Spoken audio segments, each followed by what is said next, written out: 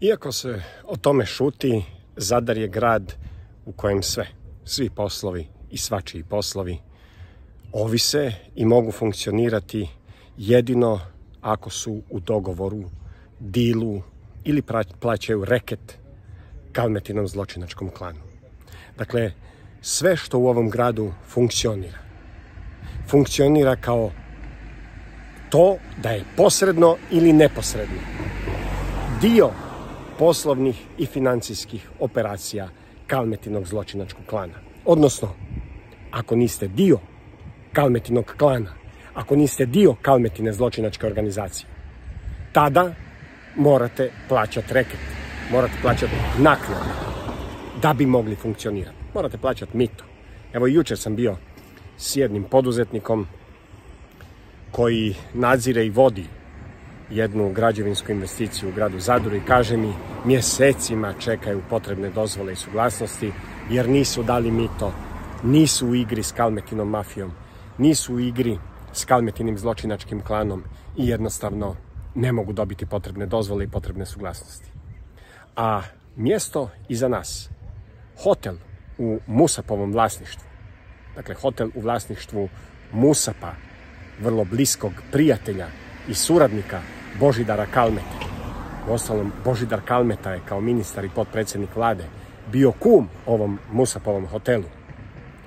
Ovo je mjesto u kojem se održavaju, na kojem se održavaju tajni sastanci Božidara Kalmete, Bore Mršića, dakle Kalmetinog insajdera iz policije, Musapa, ali i drugih zadarskih moćnika koji ovdje dolaze da bi s Kalmetom dogovarali, ugovarali i aranžirali svoje prljave poslove.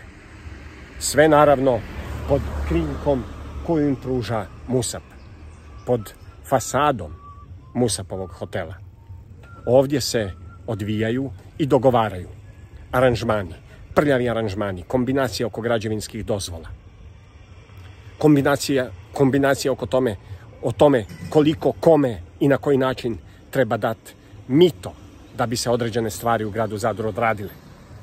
Kadrovske kombinacije u gradu Zadru se dogovaraju ovdje na tajnim sastancima s Kalmetom. Dakle, odavde, iz ovog hotela, iz ovog Musapovog hotela, operira šef, šef zločinačkog klana Božidar Kalmeta. Uskočki optuženik i okrivljenik. Višestruki osumnjičenik za ozbiljna i teška kaznena djela korupcije i organiziranog kriminala.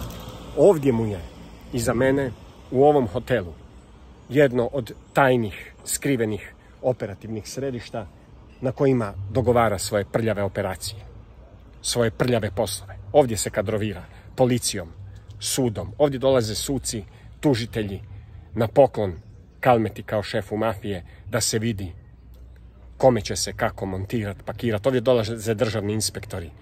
Svi ovdje dolaze na poklon mafijaškom šefu. I ovdje se održavaju tajni sastanci. Ovdje Kalmeta dogovara na koga da krene općinsko državno odvjetništvo optužnicama da bi Kalmeta na njega vršio pritisak. Ovdje Kalmeta dogovara na koga da krene policija da bi Kalmeta na te ljude vršio pritisak. Na koga da krene državni inspektorat.